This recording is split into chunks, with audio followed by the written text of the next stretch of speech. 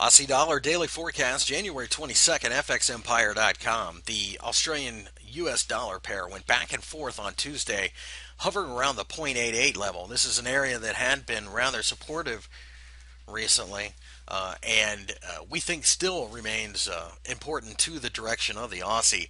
Gold markets are doing no favors for the Aussie as they continue to be eh, a little bit uh, slow. So that, of course, is not giving us the boost that we would normally see. A breakdown below the fresh, uh, a fresh new low. That is, uh, Woodson the Aussie lower and have a shorting uh, with strength.